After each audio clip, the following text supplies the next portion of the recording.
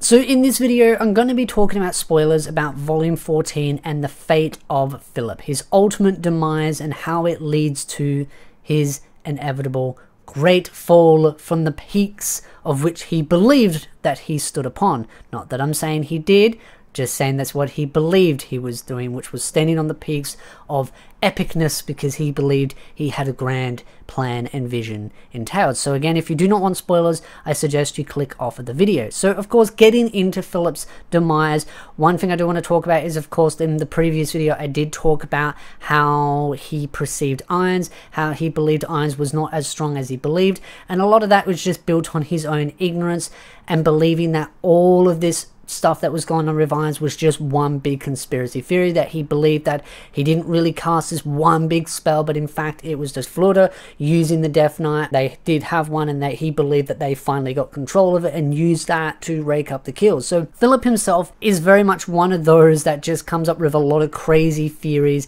and doesn't look into the itty gritty details of what did end up happening out in the Katze Plains. So you can understand why he thinks the way he does. It doesn't mean you have to agree his ultimate conclusion of how he saw Ainz. So his fate is pretty well sealed.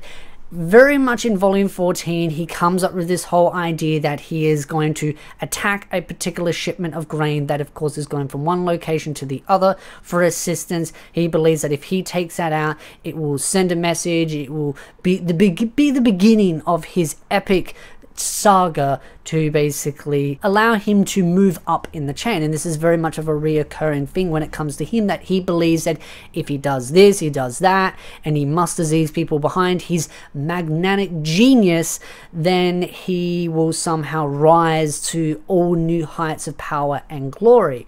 And a lot of people that ended up seeing the report of him attacking that grain shipment believe that there was some big master plan behind it. Like, why would someone do something so stupid unless there was this big plan behind it? Albedo, Demi believed that to be the case, but Shalltear was one of the people that came out and said, hey, maybe he's just stupid. And that is something that I did mention in the previous volumes. Reason why I mention it is because of the repercussions that happened afterwards. That very much gave an excuse for Naz Nazarick Ainz to then wage war upon the kingdom, which led to their ultimate demise and destruction. This is the point where Philip basically realizes that he failed. He made some very bad mistakes, so he basically put himself in his mansion and just drank himself into a stupor and refusing to admit that he was the cause of the war. But I think deep down inside, he knew it was his fault, but he just did not want to admit it. He was then soon found by Albedo waiting for him in his house or home, seeing her presence, he believed automatically, and again, goes back to his ego, that he was going to be rewarded for giving the Sorcerer Kingdom a reason to start the war with the kingdom itself. Albedo happily gave him a box. A nice little box. Not quite the same box that Renaer got though, which he believed rightfully good prize. He was all giddy and excited. He opened it and found that it contained the heads of his fellow barons and those that assisted him on his great conquest against the Sorcerer Kingdom, which you can imagine very quickly threw him in despair and made him realize that, oh, he is not in fact in the good graces, and that is exactly the case. Albedo happily and gleefully disclosed that she did not like him, how little she thought of him, and honestly, laughable just how stupid he was at ever thinking that he could raise himself to the heights that he thought he could. Again, the great conquest that he believed he was going to do and lead she honestly just thought was a absolute joke. That of course led her to revealing the fact that she was there to punish him for the fact that he wasted precious time and resources when it came to Nazarick and it did lead her to being scolded as well so she felt extra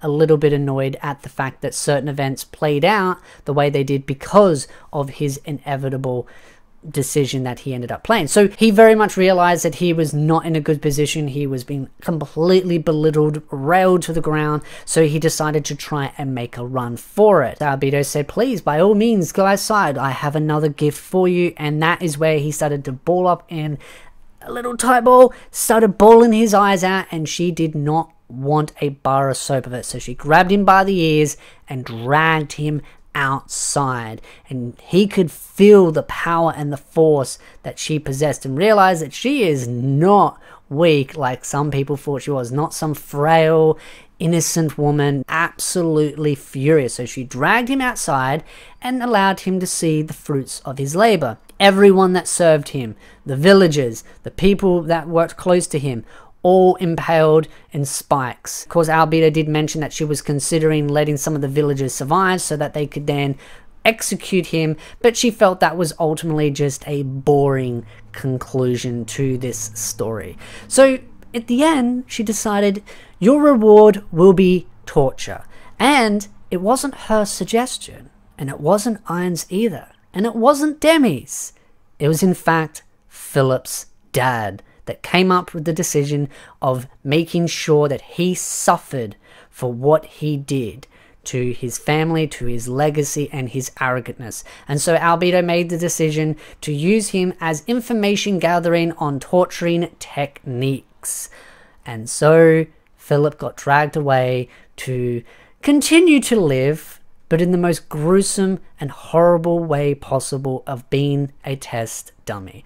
So as you can clearly tell, Philip did not have a very, very good ending fate. And maybe he is dead finally after all those testing techniques have been done, but I would believe that he would be put to other uses as his father requested to make sure to put him to good use, as his father said. And I'm sure that he did get put to great use after being tortured for all those different techniques and those test dummies. He probably got thrown into a couple of locations to be used as nothing more than food for Nazarick. Of course, again, going back to the previous point that I mentioned about Philip's idiocy, it depends on how you want to look at it. Some people could argue that he's not an idiot, he's just lacked wisdom and was just lazy because he didn't think to go out and double check, but at the same time, some people could argue that is just being an idiot. It all depends on perspective. At the end of the day, in my opinion, everyone's right because we all know Philip is just the grand fool, the the clown of the show, or in this case, the entire circus, because he dragged a lot of people along with him that ended up sharing some pretty horrible fates.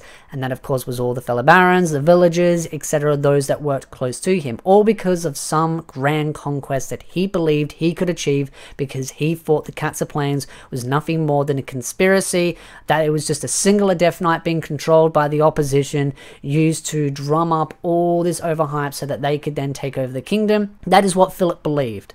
Now, again, he's a fool, he's an idiot, but it, it isn't unrealistic as well. You've got to realize that Philip's mindset is actually quite realistic to how some people believe in this day and age. Some people believe the earth is flat. Many of us would sit there and roll our eyes at it. Facts don't matter. People believe what they want to be true, not what to be true. That is a saying that I truly do believe and I've had for a very, very long time. So again, I'd love to know your thoughts in the comment section down below. What do you think of Philip? I actually personally think he's a really well written character. I don't like him if I in the sense of like if I ever met him and I had to talk to him, I wouldn't like him. I wouldn't enjoy his company. I would never be friends with him. But as far as a character goes, he is very well written, and, and I do enjoy reading him, and I do enjoy him as a character. I just don't enjoy it, like, again, if it, if it was someone that I had to meet. So there's a difference between being like, hey, I like the person in general. No but I really enjoy just how fun he is in a writing standpoint because it shows many different types of people in this world that I think the author has definitely been heavily inspired by. And the author has mentioned one or twice that some characters in the story are heavily inspired by people that he has met. So, again, love to know your thoughts in the comment section down below. But if you like this video, hit the like button, subscribe for more anime content, and I'll see you, beautiful nerds, in the next video.